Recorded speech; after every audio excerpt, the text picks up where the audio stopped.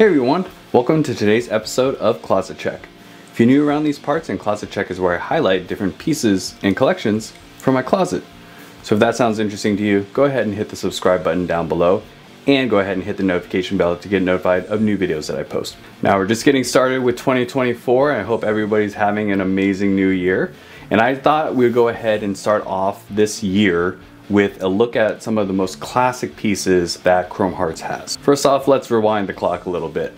Uh, it's the early 2000s. Um, a young Dbao is listening to punk rock, getting into melodic hardcore, and I'll be very honest, I was a Hot Topic kid. Hot Topic had anything and everything that a little scene kid like me uh, could ever want. Uh, from, you know, different band tees, and I'd be stopping in to see if they had my favorite band or a new one that I just discovered they have a tee of theirs.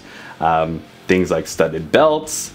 And then also they had wallet chains. So yes, I was definitely that kid in the early 2000s who had a wallet chain, I did not wear the UFO pants, but you know, with the Dickies that I had and the band tees that I had, and you know, I thought I was the coolest kid ever. and it's a funny thing to now fast forward uh, because I've actually joked with some people that in some ways, to be perfectly honest, Chrome Hearts is the hot topic for now and you know for a much higher budget than uh, than Hot Topic is. And so with that, today we're going to talk about Chrome Hearts wallet chains. And so um, I'm fortunate enough to have a couple of interesting ones to be able to show. And actually between the two of them and between a couple of the other things that I have, I'm going to be able to highlight a bunch of the specifics and differences that a lot of the different models that Chrome Hearts makes has. Let's go ahead and just get started. We'll go ahead and start with one of the most classic pieces that Chrome Hearts has, and this is the fancy link wallet chain. And so you can tell that this is a fancy link because every other link here has the extra embellishment with the pluses and crosses sort of added to them. And so with this general design, there's three different models. There's the classic link, which has every single link is just with the, the smooth style here. This one here is the fancy, where every other one has the embellishment and then there's the extra fancy link that has every single one of the links has the extra embellishments on it. And so this particular one, uh, there's two additional specifics about it. The first one is that it has two lobster clasps. And so you can see here the lobster clasps that are at the ends and they're spring-loaded mechanism to be able to open and close. So this particular one has it on both ends and the other aspect about this, you know, from a definition standpoint, is that this is the long version. So generally speaking, the different wallet chains that Chrome Hearts makes and sells directly out of the factory come in two lengths, either short or long. Sometimes, you know, there's different lengths that, that they pop up in as well, and actually I'm pretty sure that, you know, people have been able to custom order specific lengths in the past as well. But this specific one, this is the long version of the Fancy Link, and it has about 33 links all the way across it. And so the other thing is that the short versus long is different for each of the different models that they make. And so, you know, the long version of the classic or the fancy link like this is not going to be exactly the same length as say the long of the crossball version of the wallet chain. But yeah, this one is just uh, again a super classic piece from Chrome Hearts. So this here is the second wallet chain that I have from Chrome Hearts and it's the CH Plus. Now obviously with it being the CH Plus it has a very different link style than my fancy link does. So this one has all CH Pluses all the way down and the really cool thing about this is, hopefully you can kind of pick it up, is really how hefty and how thick each one of these individual links is. It's a really, really cool chain. And so the other two aspects about this that are different is that you'll notice that this one only has a single lobster clasp. So it just has the one that's here. So when you get a single lobster clasp, it means that the other end is going to have this silver S hook. And so this S hook is because it's silver, it's bendable. So I have it actually bent open right now. Uh, so that you can actually put it onto something a little bit later. But then that basically shows you the different mechanism and different piece of that there, where the lobster clasp has a spring-loaded mechanism for opening and closing.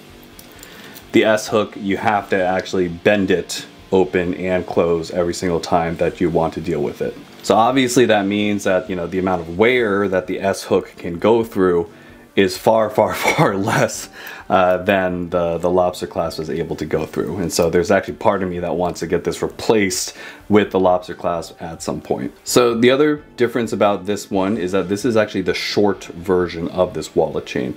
And so it has 11 links of those CH pluses going all the way up and down. And again, as I mentioned, the short length of this one doesn't mean it's gonna be the same as the short length of the fancy link or the classic. They're just sort of different because of the, the, different link counts and also the sizes of the links. Obviously, this style of link is very, very different than my fancy link one.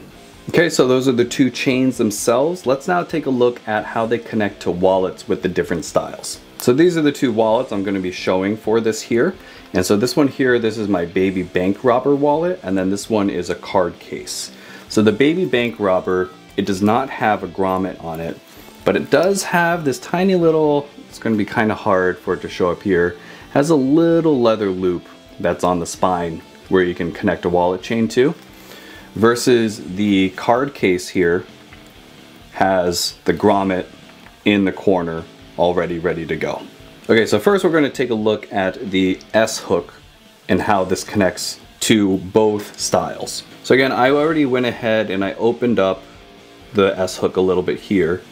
And it's really just a matter of hooking in the hook here to the leather loop that is on the wallet there. And so once you put it on, then it's a matter of bending it back so that it's closed. And so then it, at that point, it won't then come off and now you have a secure connection to the wallet. So you can obviously also take the S hook and you can connect it into the grommet on the other style as well. In order to get it through this one, you have to open this up quite a bit to be able to fit it around the leather and get it through. But again, once you do, then you just bend it back shut and then you have a nice and secure connection for the wallet. Now we'll go ahead and take a look at the lobster clasp and how this works with the wallets. And so actually this one does work with this tiny little loop. Loop is actually has a little bit more clearance than it seems. So standard way, open up the lobster clasp, feed it through the loop, get it closed, and then again you have a connection right then and there. And then to round things out, let's go ahead, we'll put the lobster clasp onto the grommet of the card case, and pretty straightforward in terms of how that connects there. Now let's talk about a few of the different ways that you can connect these wallet chains to Chrome Hearts pants, and in particular the five pocket model that Chrome Hearts makes. So there's really three different things that you can do. First off is that the five pocket model actually has little loops already built in around the waistband in a few places that you can hook the wallet chain to. So that's one. The second one is what I see a lot of people do is hooking it directly onto one of the belt loops themselves. And then the third is taking a leather belt loop that actually wraps around the belt and then connecting the chain to that instead. And so first off here, we'll go ahead and connect it to the little loops. So you can see that once it's in, it's on this tiny little loop that's built into the pant itself. So it can connect to the front side there. And then there's also one that's on the back as well. Or you can go ahead and put one side directly onto the loop on the pant and then the other connect to the wallet so that when you put it inside the pocket, then you have it basically laying a little bit lower than that back loop. So on body here, you can see with the long fancy link connected directly to the built-in loop that are on these five pockets here and put onto the card case, hanging it from the back pocket, and that's the sort of look that it gets. So again, the second way that I see a lot of people do this, especially when they're wearing it on their Levi's that don't have the built-in loop um, added to the waistband, is they just put it on the regular belt loop itself. When you have it positioned directly on the belt loop here, the really the only way that this is gonna work out is if you actually have it connected to a wallet putting it on, you know, the side loop here, you know, makes it too close. And then the back loops of the pants are also a little bit too far. So you really have to connect it this way for it to work out. Another alternate way that's possible for this is you can connect directly to one of the back belt loops and then you can put your wallet in the front pocket. So you get a similar look, but just, just reversing the way around where the wallet is. The last main way that you can do this is you can connect directly to different belt loops that you then put onto your belt themselves. And so I have two here. This one I've shown before on my channel. This is just a Lewis Leathers one that I was able to pick up in Japan. But this other one here is a pretty cool one from Chrome Hearts. It's really just a weird piece. It's, it's, it's a key case in a way. It has like one loop over the top and then it has these two rings um, that are part of it here. So you can like put a key on one, you can kind of protect it and hide it, but I honestly just throw my wallet chains onto this one. So this is actually the main way that I wear my wallet chains together. And so because the key case has the two rings that are on it, I connect both lobster clasps for the two chains onto it there. And then the other end, I connect the lobster clasp of the Fancy Link and the S hook of the CH Plus to be able to basically stack them both together. So the other thing I like about doing it this way is that these loops give extra length in a way. So you can see that the two chains are hanging much, much lower. Usually they'd again be connected either at the belt loop here or at the built-in one that's there, but they're hanging much, much lower from there. And then it's basically secured on the backside with the other belt loop that I have. So again, this here, this is the main way that I wear it and where I have them on these belt loops so you get a lower drop. Again, this clasp here would actually be hanging much, much higher, but with the two loops done this way, you get a much lower drop. All right, that just about does it for this video. Hopefully that was a cool look at some of the differences of wallet chains that Chrome Hearts makes and different ways you can connect them to their different pieces and style them together. And again, there's the little scene kid in me from the early 2000s that's super, super stoked that here in 2024 that I have some of the most badass wallet chains to be able to wear with my outfits. Hope you all enjoyed this video. Let me know if you have any questions down in the comments and I'll catch you next time.